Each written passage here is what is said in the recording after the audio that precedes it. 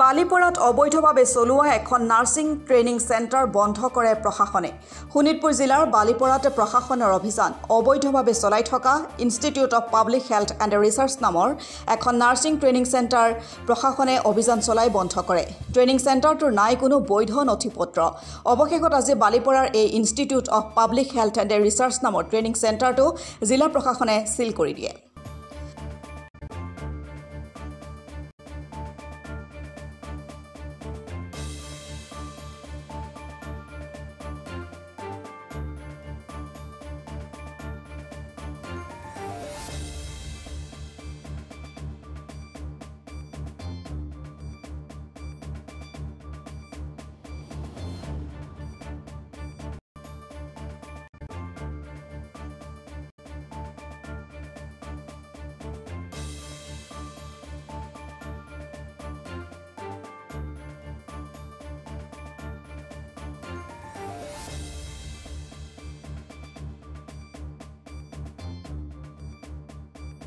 আমাৰ joint secretary medical education আৰু Srimanta Sankardev university of health ছায়েন্সে আমাক ৰেজিষ্টাৰে আমাক চিঠিখন লিখিলে যে আমাৰ শোণিতপুৰত চাৰিখনমান নাৰ্ছিং ইনষ্টিটিউট আছে। যোনখিনি অথৰাইজেশ্যন নাছিলে এই পদক্ষেপত আমাৰ জইণ্ট ডাইৰেক্টৰ মেডিকেল হেল্থ ছাৰ্ভিচে ইনকুৱাৰী এটা কৰিলে য'ত পোৱা গ'ল যে চাৰিখন তিনিখন তেজপুৰ আৰু এখন বালিপাৰা এওঁলোকৰ একো ডাইৰেক্টৰ অফ মেডিকেল এডুকেশ্যনৰ একো অথৰাইজেশ্যন নাই না কি এইটো আপোনাৰ সীমান্ত শংকৰদেৱ অপেন ইউনিভাৰ্চিটিৰ হেল্থ ছায়েন্সৰ একো সেইটো নাই। সেইকাৰণে মোক এক্সিকিউটিভ মেজিষ্ট্ৰেট হিচাপে এই চাৰিখন ইনষ্টিটিউট চিল কৰিবলৈ দিয়া গৈছে।